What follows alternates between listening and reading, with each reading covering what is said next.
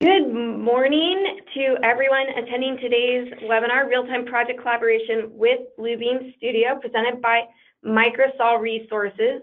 Um, we know that there's a couple more people who are likely going to be jumping on the line. We're expecting a large crowd today, um, but if you want to just hang tight for a moment, we will be started in just a moment.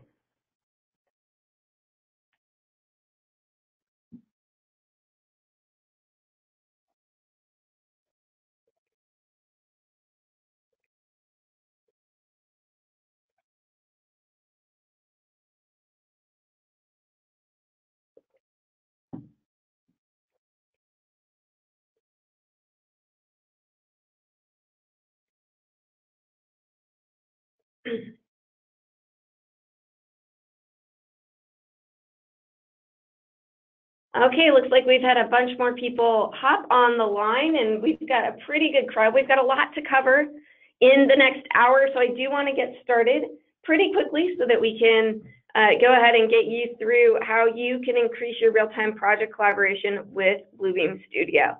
Before we get started with this AIA continuing education uh, course, a quick word about our uh, presenter um, or about our um, presenting company today. You found this through Microsol Resources, and Microsol Resources is a Bluebeam Gold partner who provides training and services on Bluebeam's products. They've been around for over 25 years, servicing the AEC industry and really helping customers with a variety of different solutions uh, within the CAD and BIM realms.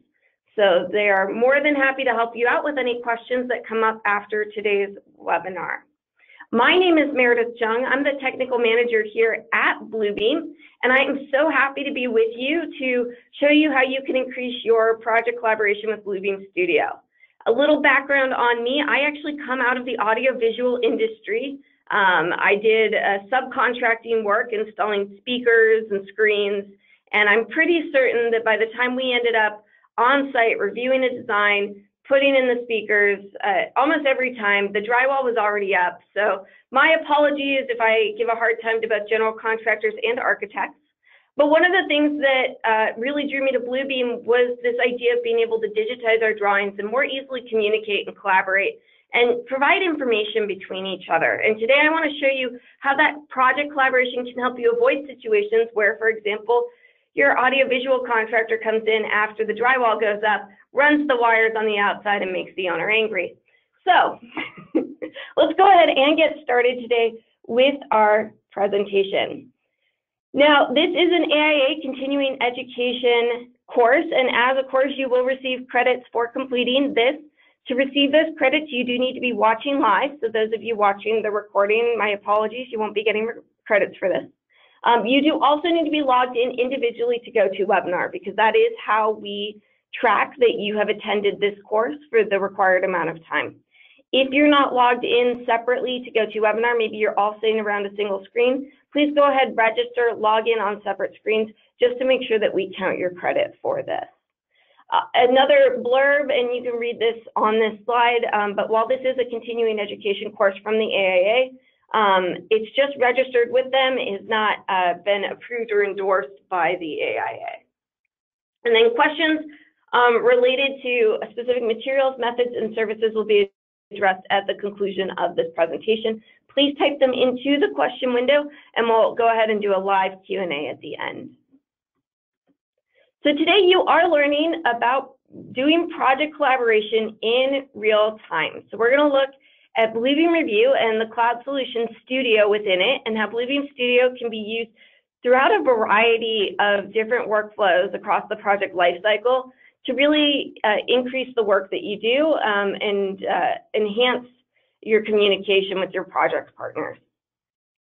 Now, how we're going to do that is we're going to look at four different learning objectives.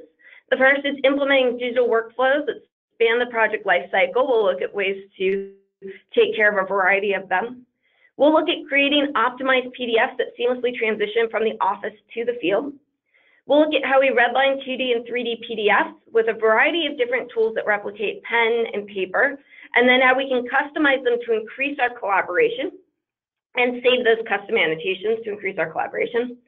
And then finally, we'll look at how we use Bluebeam Studio both to store all of the folders that we need for our project for free in the cloud and to review documents together anytime in real time uh, or on our own time. So we'll look at all of that together today. Let's get out of PowerPoint and let's get into Bluebeam Revu. And actually, before I do that, let's talk PDF creation. Now, with um, the Bluebeam suite of products, there are plugins for creating PDFs. And there are a couple things to keep in mind, regardless of what you're going to use to create PDFs in terms of best practices. The first for any PDF creation tool is to be able to easily, um, just with a single click, create your PDFs. It makes sure that everybody, in fact, is creating those PDFs, simplifies the process for them. The other is to make sure that everything in those PDFs is, or in those documents is being transferred to the PDF. PDF is an ISO standard file format, which means that there are a lot of programs out there that can create PDFs um, and that can view PDFs, but there's not many that really transfer all of the information during PDF creation. Now, for uh, a product like Word, you want to make sure your hyperlinks, file properties, and bookmarks are all going to transfer over. There are also plugins uh, within the Bluebeam suite for, um, for AutoCAD and Revit and Navisworks, and those will all include additional things. So for example, on the AutoCAD side, making sure that those SHX fonts get transferred over as searchable text. Or on the uh, Revit side, um, making sure that all of the hyperlinks can transfer over from Revit, making sure that all of the different views are also coming over uh, properly into the PDF. Those are all things that can be transferred with a good plugin. The final thing is to be able to batch convert. So uh, one of the great things about having a plugin that can batch convert is if, for example, you have someone who spent their day just updating spec sections and they know that they updated 10 spec sections for the day. Well, they can go ahead and take all of those specifications with the batch PDF functionality, add those all in and convert them all to PDF at the end of the day. They run out, they grab a cup of coffee, or maybe they're just finishing packing up their desk and their stuff as they're getting ready to go home the PDFs are created and they're ready to go out the door.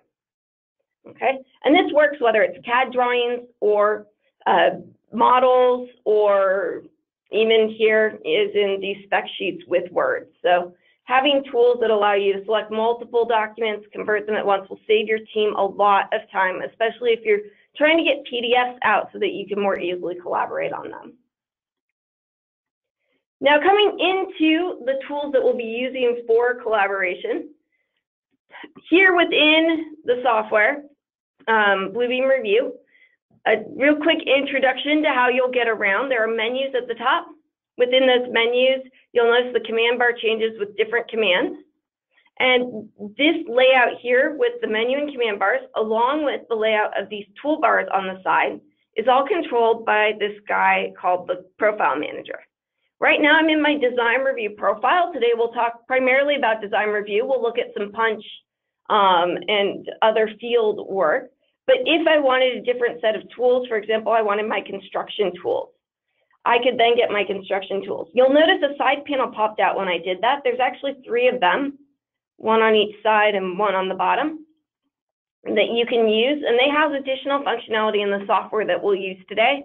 And we'll find all of that here under tab access. Coming back to my construction profile though, this is stock standard out of the box, but if I wanted to customize it because there's other tools I use on a day-to-day -day basis, I could do that pretty easily. So I've got all of these different uh, markup editing tools, some text tools. Let's say that what I really needed though was the ability to sign documents. I place digital signatures day to day in my role. Turning on the digital signature tools now makes those available for me to add a signature field or sign a document with just a single click from the toolbar. For today, though, I'm going to go back into my design review profile. It's the one that I'll be using as we go through. All of these can be exported, so at any point you can click the Profile Manager, select any of these profiles, and just export it out so that everybody else on the team can use the same set of tools. One of the nice things with project collaboration is making sure that everybody's using the same tools that way, you know both how to help other people out if they're having some difficulty, um, but also you're able to uh, standardize the way that they communicate. The last thing I want to show you before we get into the tools that we'll actually be using for collaboration are the tools that we use just for basic navigation of documents. Here in my file access, I'm going to take a local document. This is on my computer. So these are not up in the cloud yet. A couple of uh, local documents here. You'll notice I've got my specs and my specs. It's a pretty easy scroll through. I'm just scrolling my scroll wheel on my mouse, just the way you expect a PDF to work. Now think about how a large format document, you know, one of your 2D drawings out of Revit would work if you were trying to scroll up and down through it. Quick guess, that would probably be pretty painful. No worries.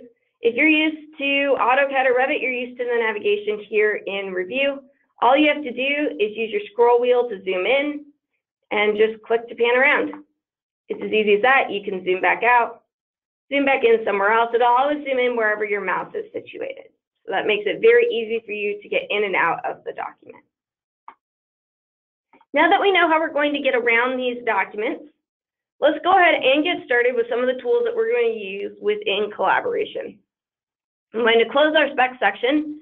Not going to use that right now, but what I will be using is a variety of markup tools. Everything that you would be doing with a pen and paper, you can replicate right here within review. And when you are looking at collaboration solutions, you do want to make sure you're replicating all of the work that your teams are doing most regularly, whether they're commenting on a design review, whether they're trying to track issues out in the field, or they're trying to you know, formalize a punch list and go through and mark down what it is that the contractor messed up, or really the subcontractor, it would be my fault, uh, messed up on when we went and did the installation work. So whether that's adding text notes, that could be text box, callouts, pretty standard ones, um, flags. My favorite here is the typewriter because all I have to do is just start typing. There's pen tools, pens, and highlighters. The highlighters are smart. When there's text, they highlight the text, and I'm a little trigger happy this morning out here in California. It's a little early. Uh, they can also do some free-form writing in addition to highlighting some basic text. There are line tools, so anything that you might want to uh, shape out with a line, you can, including putting arcs onto a page. You can take care of a variety of different shapes. Everyone knows and loves our friendly neighborhood cloud. And you can even drop images onto the scene. So let's say, for example, that there's a crack over in the wall over here. Well, let's actually find that image right there. So here, within my uh, images, would help if I was in the right folder. Try this again. Within my images, I've got an issue with the wall here. Let's put down this issue. So there's the image. We could use, again, those line tools, put an arrow to which wall that is. And then even better than all of that, once we put in the image and the wall where it is, we can then use my personal favorite tool, which is this Cloud Plus. It takes the cloud, adds a call out right to it, and we can say, cracked wall, please fix. Okay, makes it really easy to get everything going, and we can even edit this around so that it's really easy to read. We're not overlapping any lines. Now, all of the markups that you see here in the software, all of this can be edited and uh, really changed up to better communicate who it is who's making that communication on the page. Do you remember back to the days of paper? I sure do. Um, I, back in the days of paper, what we did was we took our red pens, we all marked up in the red pens, and then the intern copied it all over in their handwriting, and no one could tell whose comment was whose, right? Like the eternal struggle of every review meeting I sat through. Well, here we go. Let's actually make this unique so that it looks like it's my comment. We'll say this cracked wall that's been found is from me as the general contractor. So I'm going to change the subject here. I'm going to say this is the general contractor's comment. They're going through, they find the issue on site, they want it fixed before we get into punch. We're going to change the appearance of this. Now we got lots of colors. I'm going to go with green today. Take something a little different. I almost always pick blue. You can probably guess why. But give that a nice green fill opacity. I'm going to change the color again of that lead and I'm going to change the color of our text so that all of it falls into that nice shade of green. So now I've got a comment. It's for the general contractor. It's a cracked wall, please fix. But what you're going to notice is if I pick that Cloud Plus again, I'm just going to pick it this time out of my toolbar. I could also use the keyboard shortcut of K to access it. And I wanted to place a new one here. Change detail number, right? Whatever that is, that's still in the default colors, right? It's still in this red and white, but I really want to be using the settings that are here, not these default settings here for the Cloud Plus. I could right click here and I could change my defaults, but I'm working on several projects and each project has me working in a different color coding. So what I'm going to do is I'm going to open the tool chest and the tool chest allows you to take all of your customized markups. It saves them in the recent tools, every markup you've used, and then allows you to save it to uh, either uh, one of your own tool sets like My Tools or a custom tool set like one of these architect, contractor, and engineer tool sets so that you can then access it again and place a new comment. So here we go, change door swing. Right? Maybe it should swing in instead of out. Easy fix, it's all been documented here. And what you'll notice, just to show this off again, if I open back up those preferences, I'm just going to slide over so you can see those both over here. Open up those preferences uh, or properties over here again, and what you'll see, I still have general contractor. All those colors are the same. It's really just that I now can place a new comment with those exact same settings. Now, if, for example, I run into cracked walls on a regular basis, I could double click on this and I could get an exact copy of it. This is great if you've got symbols you've put together um, or text that you use on a regular basis. So um, I know uh, some people like to have set text for how they work with different issues that come around. They could easily make that text something that they always use again and again exactly as it is. They could save it with the custom text each time into those tool sets.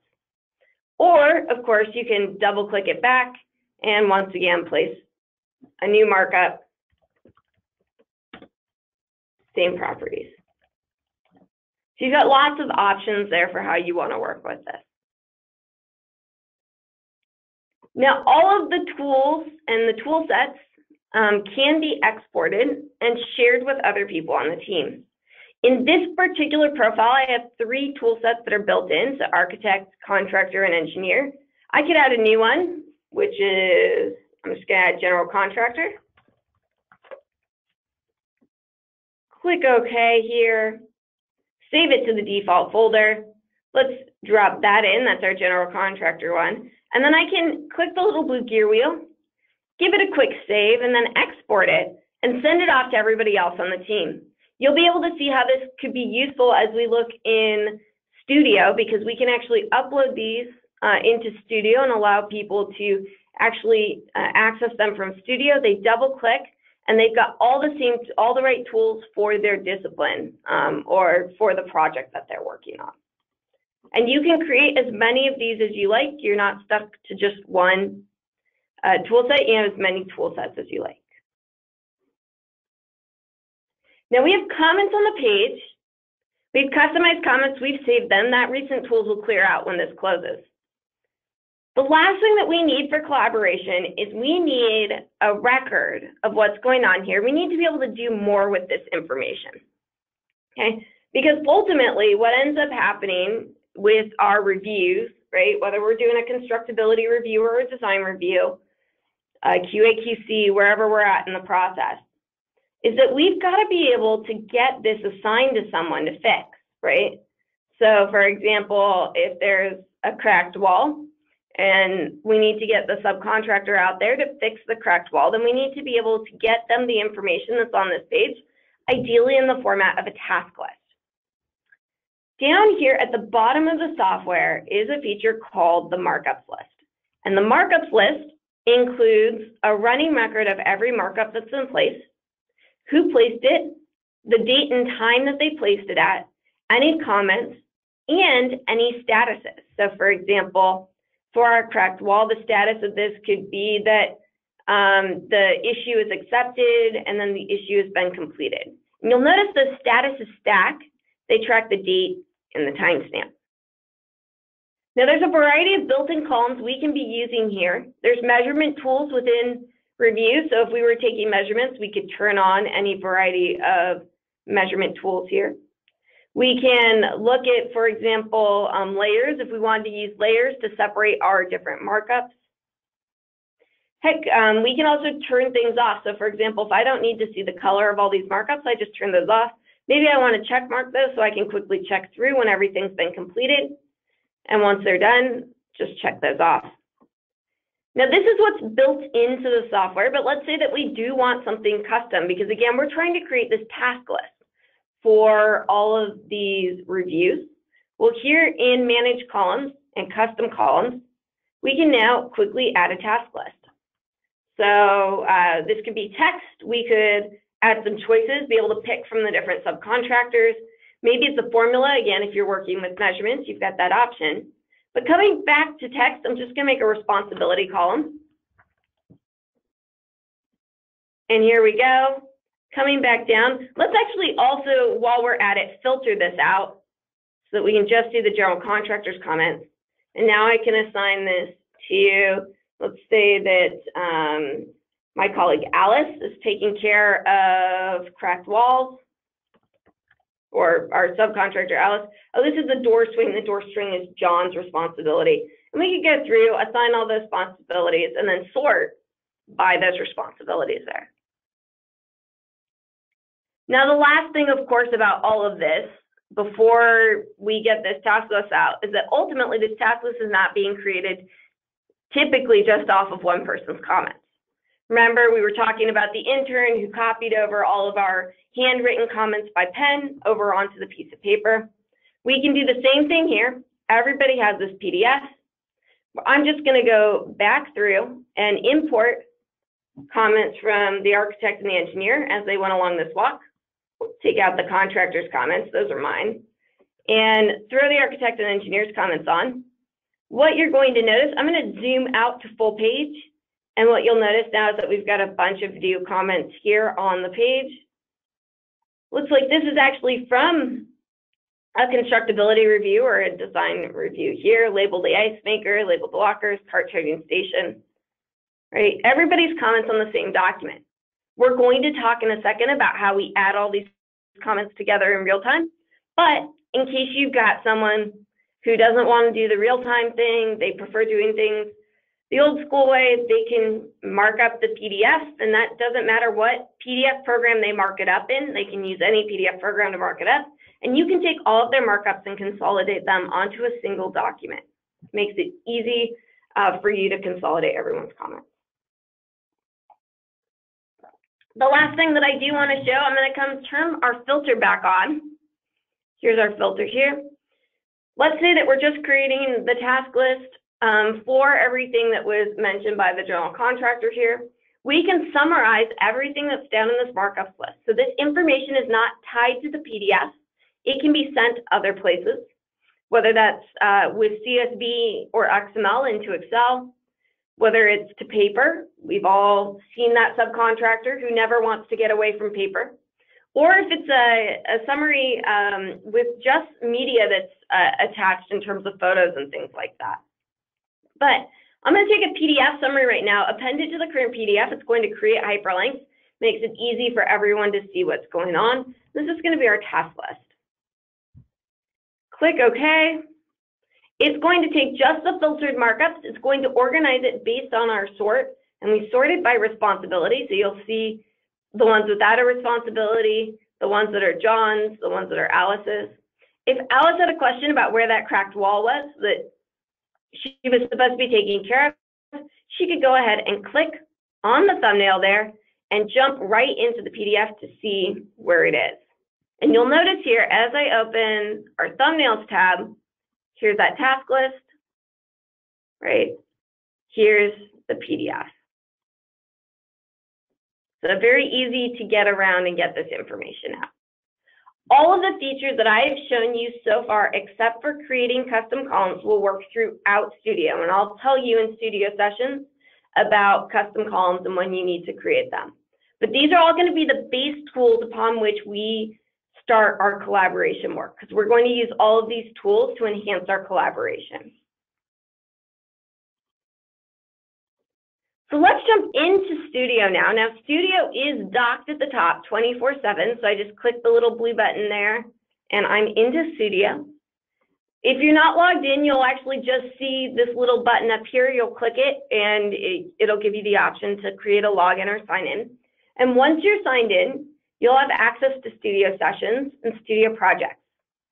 Studio Sessions is a real-time document-based collaboration so that you and all of your project collaborators working on the same PDF at the same time. Everybody comments at the same time, um, or again on their own time. And we'll talk about how that works as we get into studio sessions. Studio Projects is unlimited storage on the cloud. It's a light document management system. It allows you to store all of your project files and set permissions on a folder basis. Let's start in projects because I, um, I, I think projects is a great place to start. It's the place where I typically store all of my files when I work on a project. And I've seen a lot of other people who do that too when they're using projects and sessions. So projects allows you to upload any folder.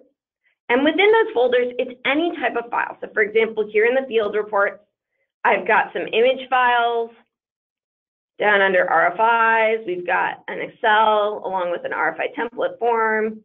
The sheets, all of our sheets today are PDFs, but if you wanted to be storing your Revit project up here, it's unlimited storage on the cloud available to you. Within Studio Projects, there are a variety of settings that are available as the administrator to be able to control access to this information. The first is user access. We can restrict users by email address and then add them here. So if I wanted to add my colleagues uh, and give them access, I would click the green button there. I prefer not having them in this project. It's just me.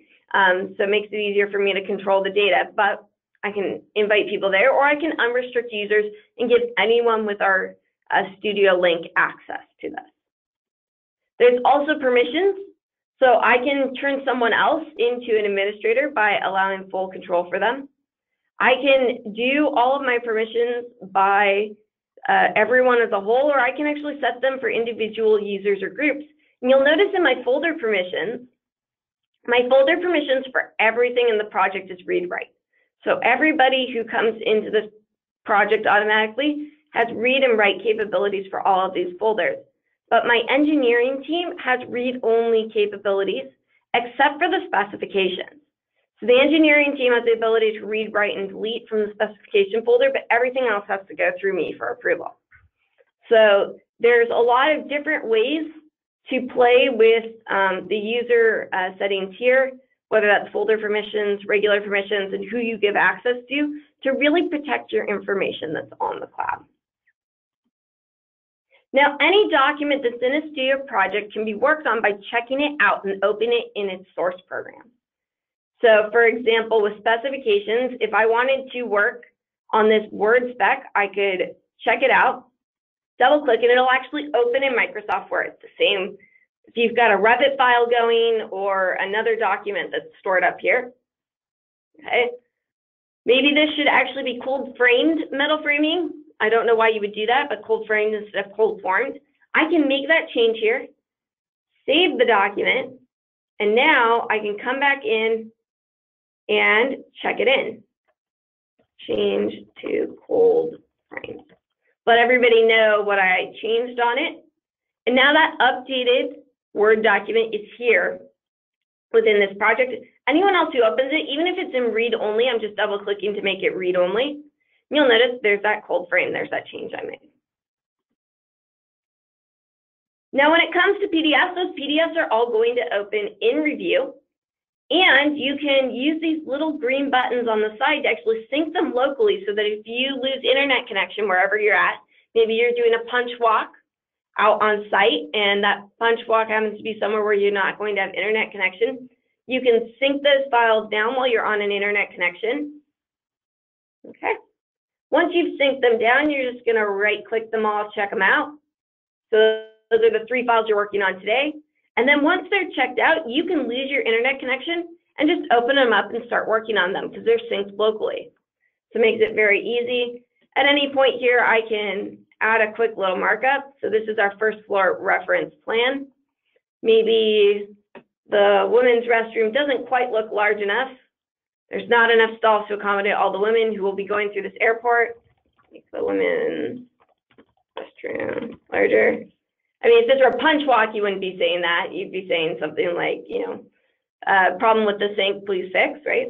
But if you did that, you could check it back in. And you can, again, multi-select. We can check them all in at once.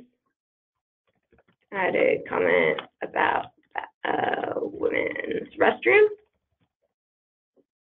Check those all in. And now that's all back on the server, you'll notice I have this open, it's locked. So I've got a read-only copy of it. Someone else could check it out and update it. And we could easily come through and look at the revision history for this document at any time.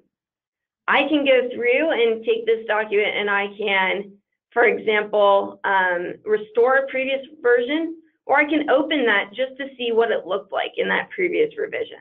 So in its previous revision, it was nice and clean. If I wanted to restore it, I could, or I could just see what that file history was.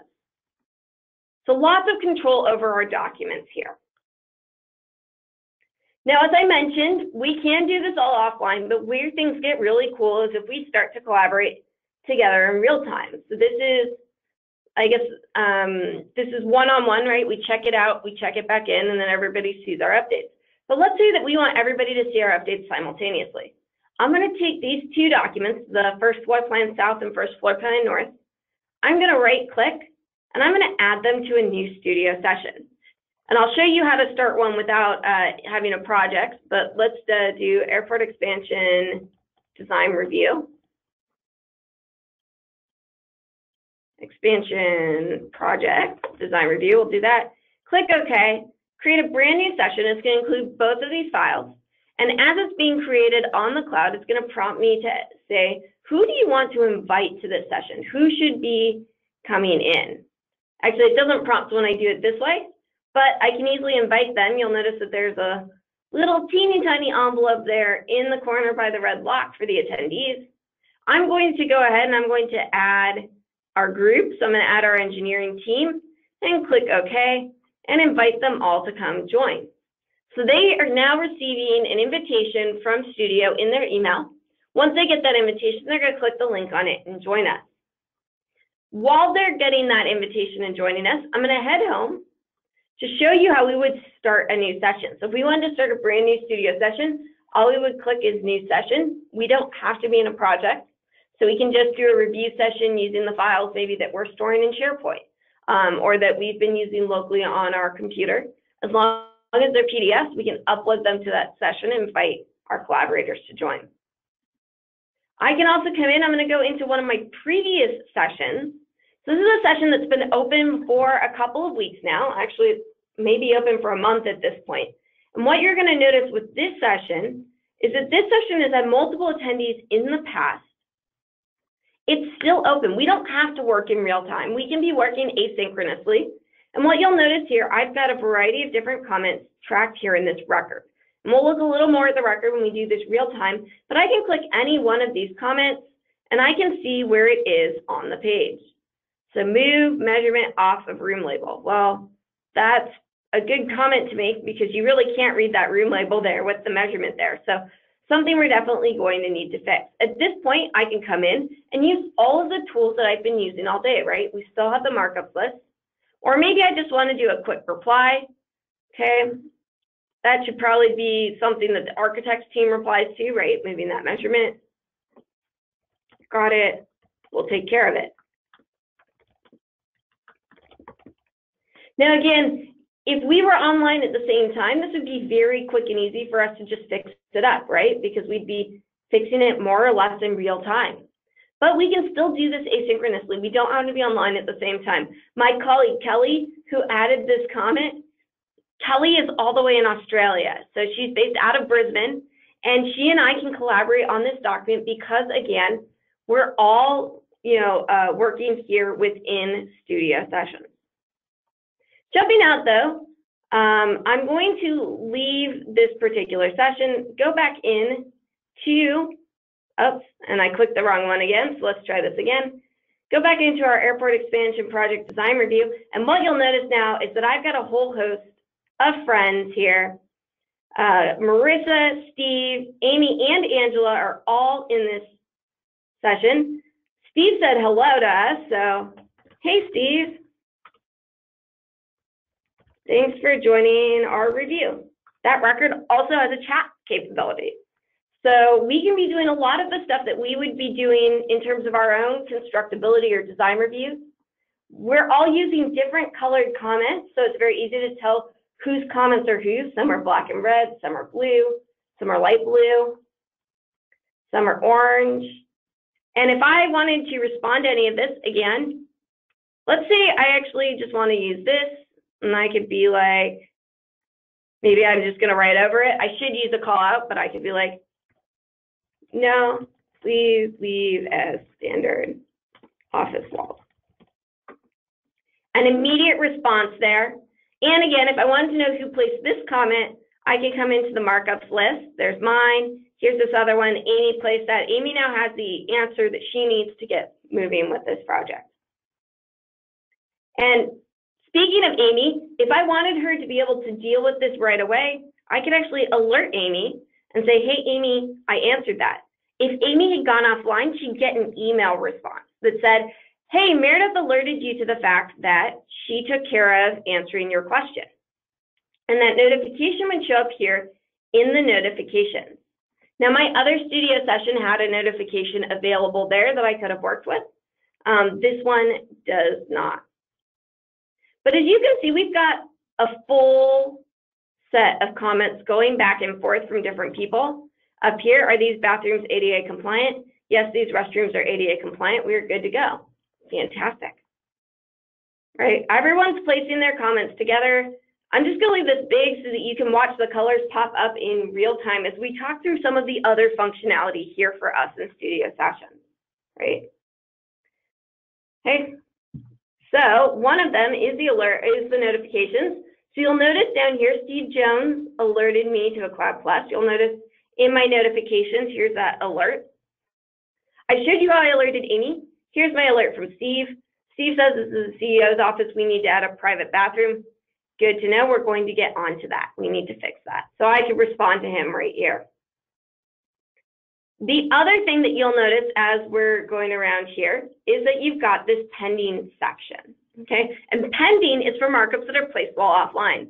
So let's say I looked at the notification, saw that that was going, but for some reason the internet went out. Why would the internet go out? No idea, but I've seen crazier things happen in my life. So internet goes out as I want to go respond to Steve. For the heads up, I'll get the team on it. Notice that now in the pending, we have this comment here. And any comments that I place, while they'll show up with the date and time here on the page of 8.39 a.m., you'll notice that they are all still pending an upload to the server. So let's go in notifications. Or sorry, let's go not to notifications, let's stay on pending. Let's connect ourselves back online.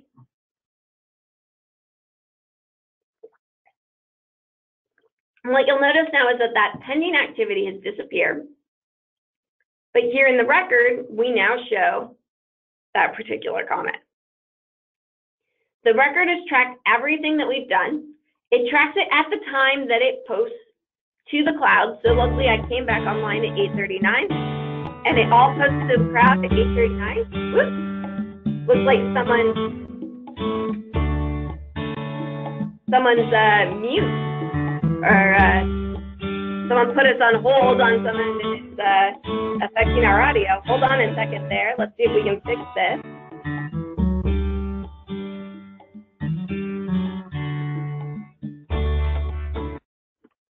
Oh, there we go. Perfect. So glad we got rid of the hold music. Sorry about that, guys, but glad that it's uh, all working here. Okay. So coming back into studio sessions here, um, we've got this all fixed up over here. We're placing our comments. Everything's been tracked when people came, when people left, all the comments they made, when files were added. So we've got a lot of information here. We have all the information in our markups list. But again, this is a different set of information. This is like those meeting notes that we likely took when we actually did our final review. Um, if we were doing a review session, right, we went through, we took the meeting notes of what everyone actually meant, what they were talking about, and then we sent those out to the team at the end of our design review uh, in-person meeting. Well, great, let's get those meeting notes out. I can come here with a record summary, which is just everything in the record. I can combine all the files together in a single report, but I want to do a PDF package report. PDFs can do a lot more than just be a simple document. With a PDF package report, what ends up happening is that a copy of the documents as they are exactly right now, 8.42 a.m. Uh, on Pacific time or 11.42 a.m. Eastern time on Wednesday morning. This is an exact copy of these documents as they exist right now. So as I open A1.1.1, you'll see it right up here. All of the comments that we saw, all available here, very easy to see. And we have the complete record. So coming home, in addition to those documents in that folder, here is that record report. And that record report is hyperlinked. So for example, if I wanted to see Marissa's comment, edit, engineer, check door access, I could click that and I could see the view that Marissa was in when she placed that comment. Okay. All of this works in any PDF program that supports the ISO standard file format. So this could now be sent out to pretty much everyone on the team. The same thing, let's say we're doing a punch walk. So I'm going to come back online. I'm going to close all the offline files. We're now back online. I'm going to come into A1.2.1.2. Okay. Because this is where I think things really start to get cool um, with studio sessions because it really speeds up a lot of these processes. So let's say we're here, I'm going to change it to my punch profile. You'll notice in my punch profile, I actually have a variety of punch symbols in that tool chest. You can create these really easily. Um, so I can uh, turn them into detail mode. You'll notice they have the symbol. The subject is the pair of letters that's in the symbol. And the comment is uh, a comment that actually shows up here in the markup list when we place it about what needs to be done with that. And creating them. Uh, when you go to add a new tool set, um, you've got the, or modify an existing tool set. Sorry, let me click an existing tool set. Um, you've got the ability to import your punch keys from Excel, very easy to set up. And you can come through and let's say that, for example, there's foreign substance on the surface here, right? So we drop that down. And there's some paint overspray, maybe not quite there, but over here in the baggage screening room.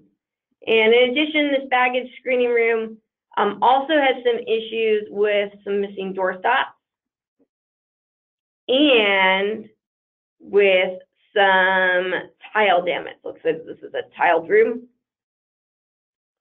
We can now take all of these comments. They're all populating in real time.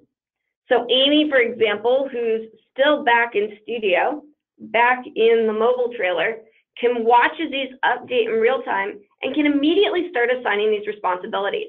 Now, I mentioned custom columns can't be added in a studio session, but we set them up in advance. You'll notice the modify columns is missing, but the responsibility column was set up in advance here and moved up so that it shows up there. And now Amy can be coming through. She could say that uh, cleaning uh, both foreign substances and paint overspray are the responsibility of Steve, who we were chatting with earlier. We could say that Marissa is in charge of the missing doorstop, and we could say that Amy actually is going to go out and fix the flooring herself, or actually probably better, I'm responsible for fixing the flooring.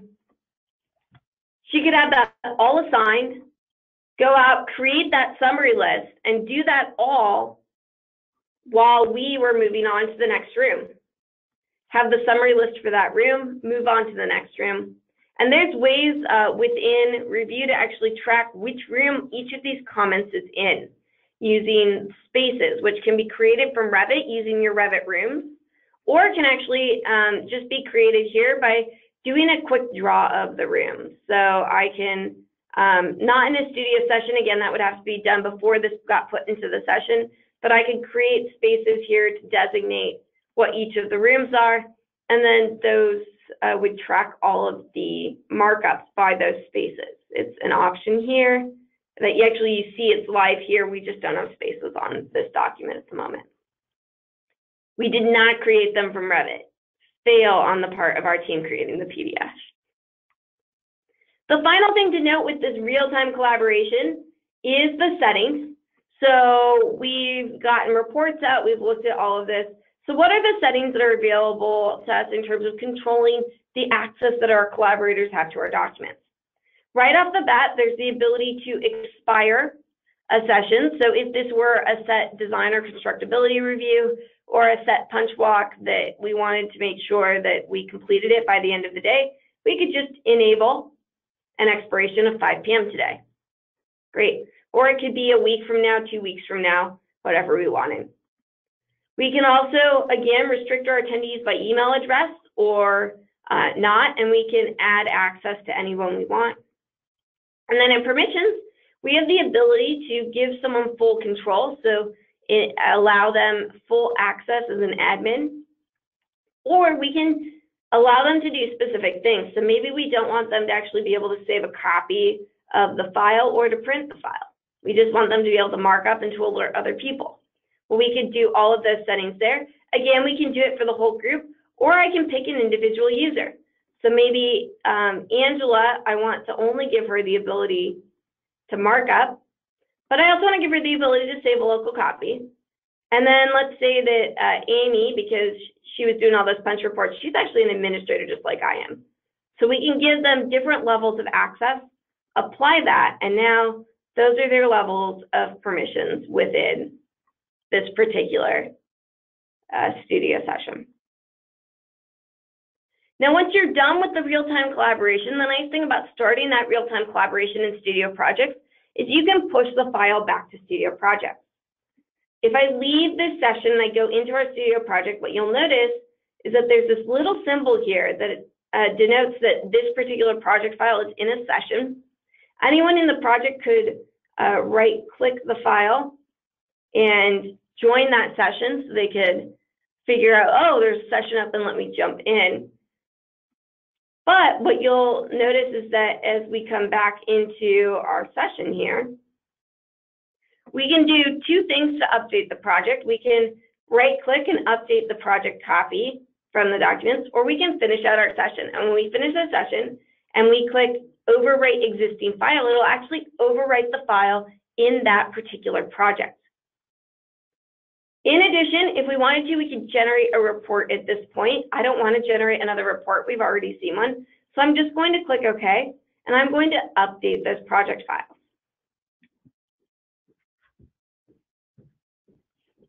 What you'll notice now as I click OK is it has dropped me back into the project, and it has updated those project files for us with all the comments that were made in our design review. These changes are technically pending, so I'm just going to right click and check them in.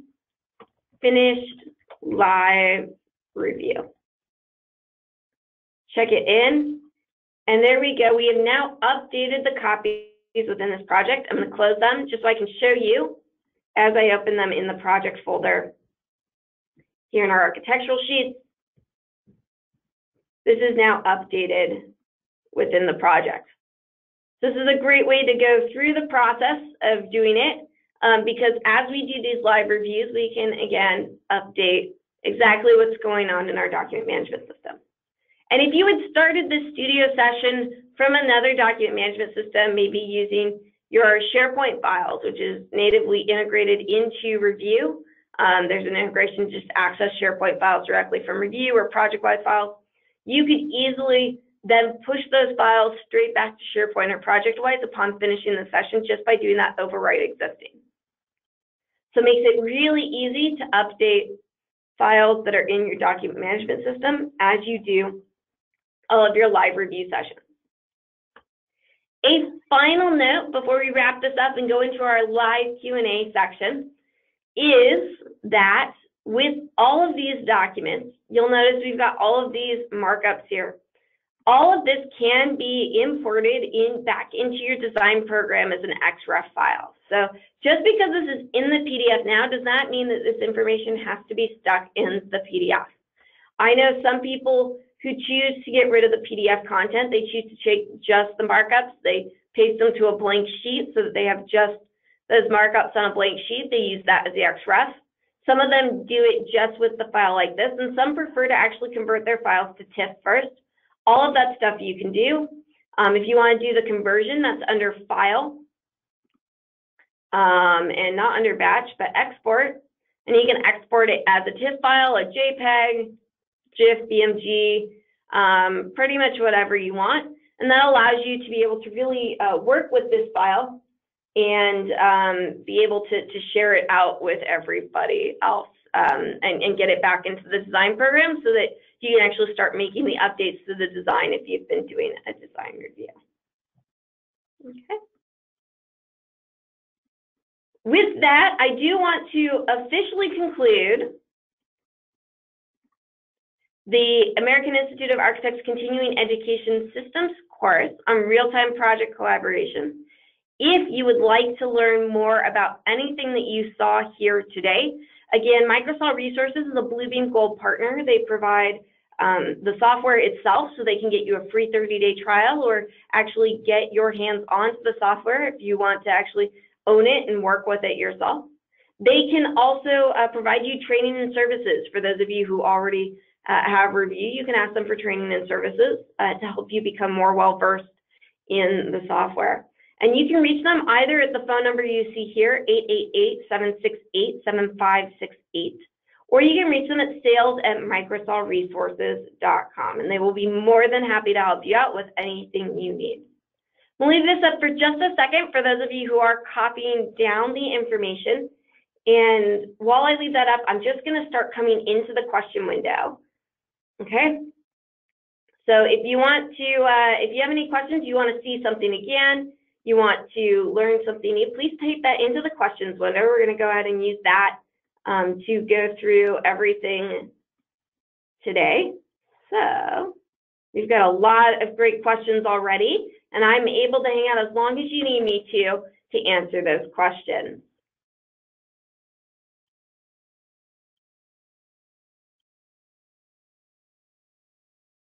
Okay, we have some great questions here. The first one I'm going to answer did not require me to go back into Revu, and that was, is there a way to rewatch this webinar later? And the answer to that is yes, this webinar has been recorded, um, and you can reach out to Microsol Resources to get a copy of that recording.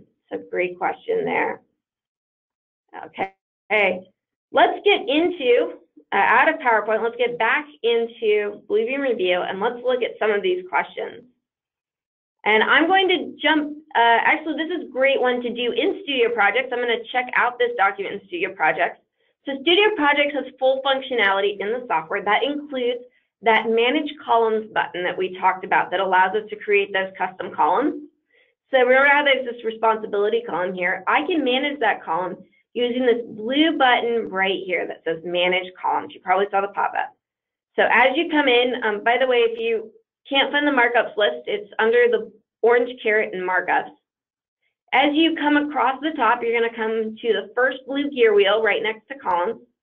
That is Manage Columns. And from there, you can manage both the display order and the custom columns themselves. So you can see right here, I can open up that column and I can modify it. One of the cool things that I can do here that I didn't mention earlier is that I can um, save this to my profile. What it does when I save it to the profile is that if I open a document that has never had a custom column on it before, so for example, if I were to print something from Revit and open it right away in Revu, it would automatically apply that custom column to that document. The custom column is saved at the document level. So it doesn't work if you already have custom columns on your documents. You'll need to export and import this column if that's the case. Um, but for documents that don't already have custom columns, the save to profile option is a great way to streamline that. Speaking of saving to profiles, we talked a bit about profiles at the top. Every customization that we do um, in the software is saved to that profile. I've only got the stock standard profiles uh, available for me here, but remember in design review where I added that general contractor toolset, that actually is included with this design review profile when I export it, if I use this include dependencies here. So by having this check uh, box checked, it'll actually include all of my tool sets and uh, any custom columns and things like that, which is really cool.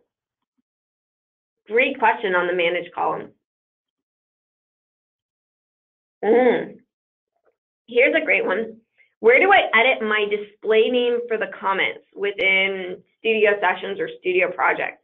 Because we saw my colleague Amy Klossel was showing up as A Kloss. So um, coming home and coming into my settings. So from the home, when you click the settings, what you'll see here is that um, you see sort of the login email and the server. And as you, I believe it's manage servers, and click that there, and click the settings gear wheel down here, you can now display what your display name is. Automatically, that display name is going to show up as, um, that, that display name will show up as your computer name, which is why hers shows up as A Kloss, because that's what the company named her computer. Um, but you can come in here to change it. And again, to show you how that works, I'm just going to close out so you can see it again. I came in, I'm at home and settings. From the settings, I went to manage servers. I clicked on the studio.bluebeam.com, clicked the blue gear wheel, and that's the name where I can edit it.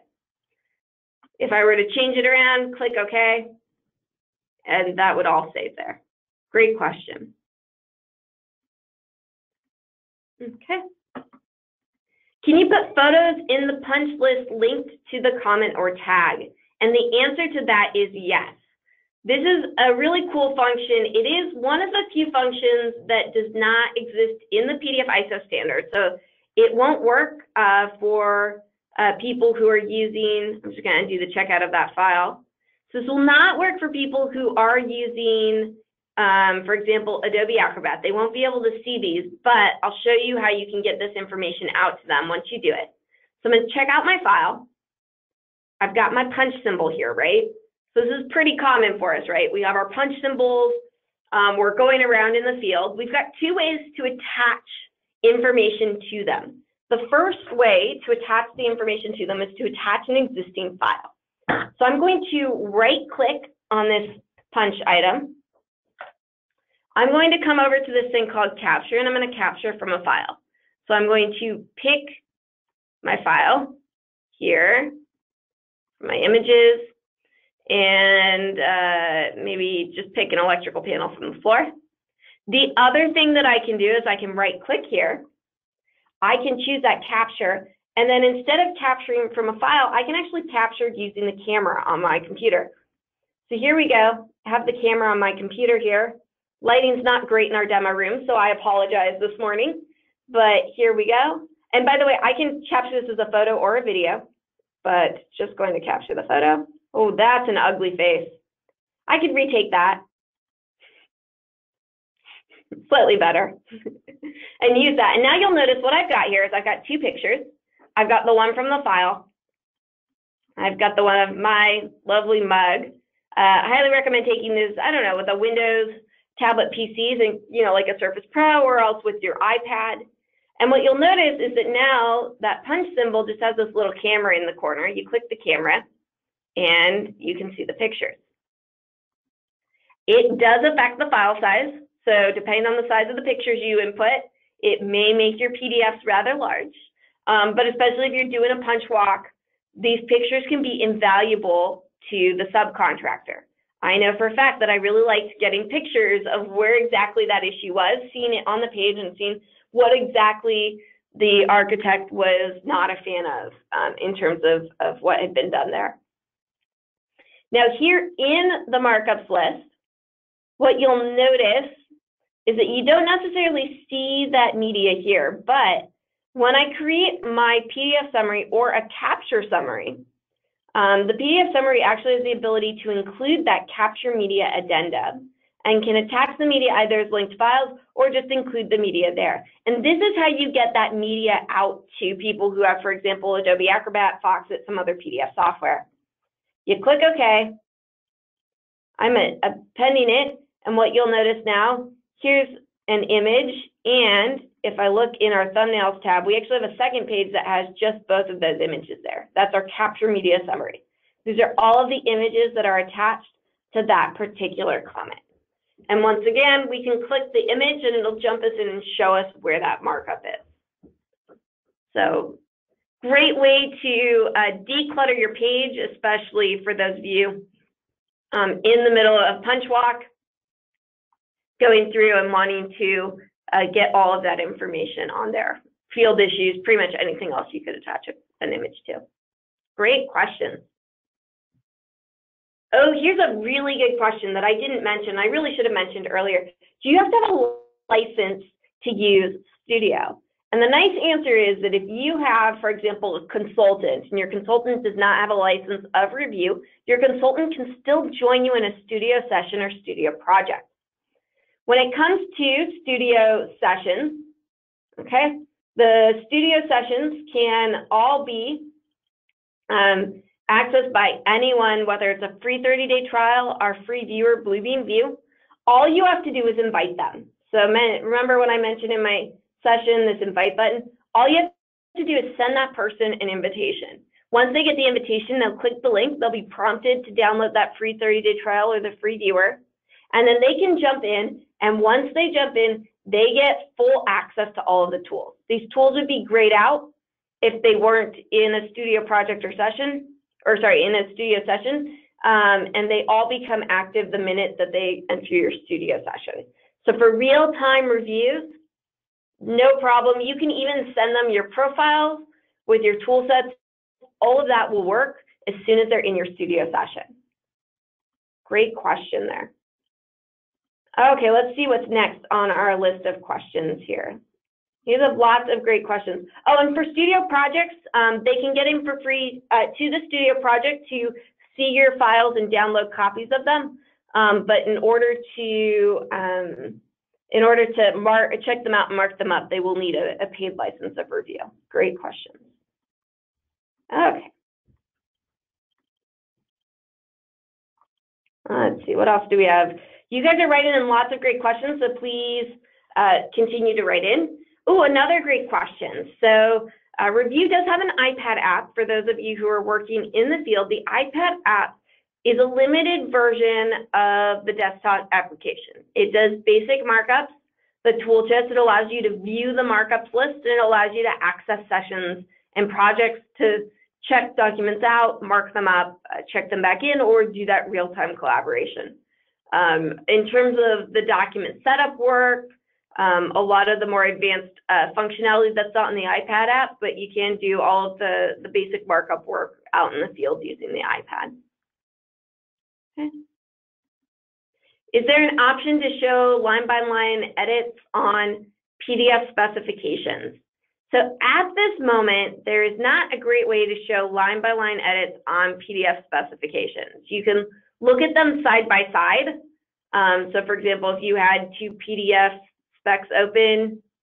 You could be looking at them side by side and you could turn on this a sync button down here so that you can actually scroll through them at the same time. And I can quickly open a spec and share that if you want to see that specifically on a spec. Okay. Um, and then um, as you, you go through, you can see what goes on there, but there's no great way to actually see line by line where edits were made on that PDF specification. You would have to sort of look at them yourself. Okay. Great. Um, is it correct that I cannot remove another person's comments? Can we only mark them as completed? The answer to that is yes. So within a studio session, now, in a studio project, the rules are a little different because you check out and check in, and you've got the complete revision history. But, I'm just going to do that checkout again. here in my studio session, let's take my first floor plan south. This is a comment that was made by one of my colleagues. I can look in the markups list to find out who, but what you'll notice is, is that all of my control points here are grayed out.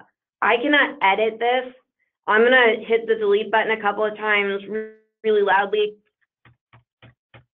Yep, nothing. I can't edit their comment. I can't delete it. I'm the administrator. I own this session and I can't take out what they do. That gives them complete confidence in the accountability of this studio session because they know that any comment that they place is here and it's here to stay. Now, if they delete that comment, they're deleting that comment also appears here in my record. So for example, my colleague Kelly deleted an engineering comment. This is where that comment was. We don't know exactly what that comment was, but she deleted it. And I also have complete accountability because she can't say one thing to me, delete it, and then say, oh, I didn't tell you to do that because I've got the complete record of everything she did too. So there's accountability on both sides there, which is great.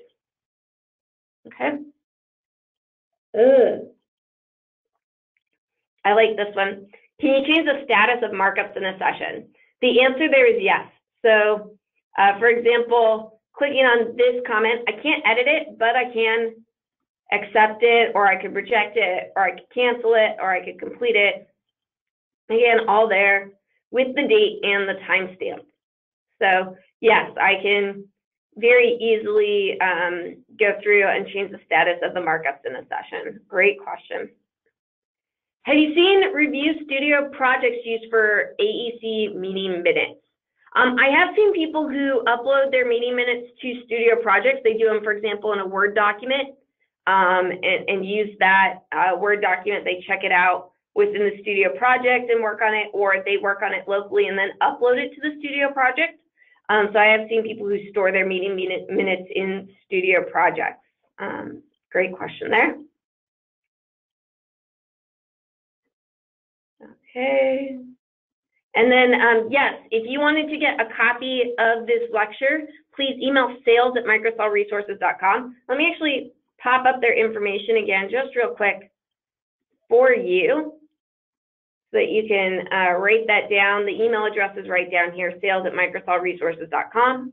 Um, they can get you a copy of this webinar. Um, they can also, um, you can uh, ask them about the training services that they offer and the other services that they offer. Um, for Revu, get your hands on a free 30-day trial uh, if you wanted to try this out yourself or even uh, purchase the software through them. Great question. Ooh, I like this one. When a task or markup is complete, it cannot be deleted, but can it be hidden to prevent visual clutter? The answer there is yes. So going to jump back out of PowerPoint, jump back in here. So we marked this is completed. I'm going to mark another markup is completed, and they should be on this same page. Let's see, page label. Yeah. So this is the sheet. I'm going to go full page on this so you can watch these two purple ones. Uh, go a little less than full page. So these are the two purple ones that I changed to complete. I'm going to take that filter on. I'm going to do a custom filter and does not equal, oh, sorry. And I'm going to choose that custom filter for status, custom, status, does not equal completed. And now what you'll notice is the completed ones get grayed out. That's actually a setting. I can change the setting to make it even more opaque and harder to see. Um, but it does more or less uh, take care of that there. Another thing that I can do before this goes into the studio session, and I'm going to uh, come into my studio project again as I keep jumping back and forth. The nice thing is I can jump back and forth between these pretty much until the end of time. So I can check out this document. And one of the things that I can do here is I can actually manage our statuses. So I can take these statuses, accepted, rejected, canceled, completed, and maybe when it's completed, I want to modify the status so that the color of that particular markup actually changes to like more or less white. So here we go. We've got white. Click OK. I'm going to click OK here. I'm going to select this particular comment here It's nice and blue, very easy to see, right? I can then come through, I'm gonna mark that as completed, and it changes most of the comment to white. Um, I could choose any color. I know with punch symbols a lot, I've seen a lot of people who do different colors for the punch symbols. So the point at which the punch symbol is placed, um, it may be red, uh, but once it gets accepted by the subcontractor, it changes to orange. Um, once it's been reviewed by the general contractor, it'll get changed to yellow, and once the architect has re-reviewed it, it'll change to green. And they'll set up, they'll actually have um, custom statuses altogether. They'll just create a brand new one that allows them to show where in the process in terms of completion it is. So um, lots of great options there. Um, another question here, how do we get the AIA credits? For those of you who watched live this morning, um, you will actually get the AIA credits uh, directly from our team. If you provided your AIA number, um, we'll issue the, those credits uh, to you uh, within a couple hours of completion, or I guess within a, a business day of completion. Just depends on, on how fast we can get the report um, from GoToWebinar and uh, verify that and get that uploaded to the AIA. But you should see that within a week, no more than a week. If you are not an AIA member and did not provide your AIA number, um, you can go ahead and uh, email us at webevents at bluebeam.com and we will be happy to issue you a certificate. I know certain uh, other uh, uh certifications will take AIA certificates for continuing education credits. Um, so if you wanted one of those, you can email us and we'll send one out to you. With that, I do believe we have answered everyone's questions, but I will hang out for just another moment. And I'm going to pop back up the contact information for Microsol resources. Uh, just one more question here, and uh, that question is about uh, the backup. Uh, Bluebeam uh, studio sessions and projects are backed up. Uh, we're hosted on triply redundant servers across the U.S., um, three locations across the U.S. So if one goes down, uh, the other two will be up, and it's Amazon Web Services. So um, we're really on top of things. If you ever need to access a studio session or a studio project and, and a, a backup of it, um, you can always uh, email our support team, and they're, they're happy to help you uh, find the backed up version of that session or project. Great question.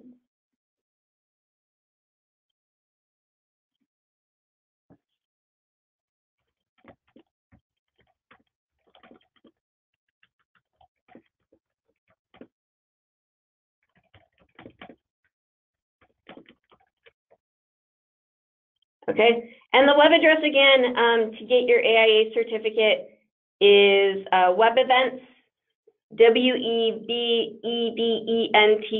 at bluebeam.com, and they'll take care of providing your certificate. Great. And of course, for those of you watching this online, you unfortunately will not get a, or on a, a as a recording, um, we cannot issue you certificates for that. With that, it does look like we are out of questions. I want to thank you all again so much for coming. Please, if you think of anything else, reach out to Microsol Resources, 888-768-7568 or sales at microsolresources.com. They're a Bluebeam Gold partner. They provide top-notch training and services along with um, pre and post-sale support. Um, they will be more than happy to help you out with all of your Bluebeam needs. So um, please reach out to them, free 30-day trial, or just to buy the software. Um, right now, they'll be more than happy to help you out. Thank you again so much, and I look forward to seeing you on a future webinar.